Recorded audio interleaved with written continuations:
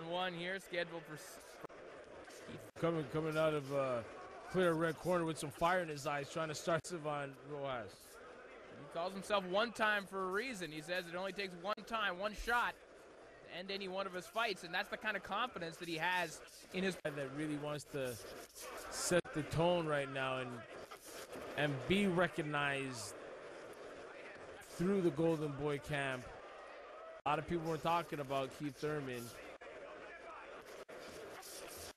and his aura just makes it feel like fights. He's a good talker, pretty clever guy outside of the ring. He had a pretty funny line when a reporter was asking, "Listen, I don't get paid overtime. I don't get paid by the round. I want to get out of there as quickly as possible."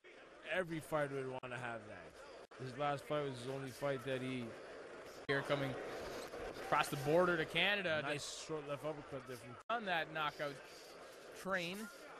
Haas has been stopped before, was stopped last time out by Pierre Olivier Cote. Interbox's version of Keith Thurman, so to speak, a hot prospect, a power puncher. Thurman's been thrown out there. There's nothing called setup punch. He's trying to get through his with heat sinking abilities that he's throwing those shots from Keith Thurman.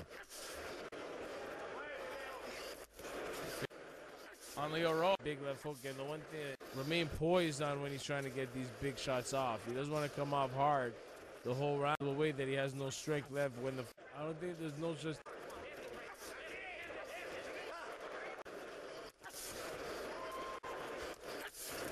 There's that left hook to the body again, and if the, that's over, you get here.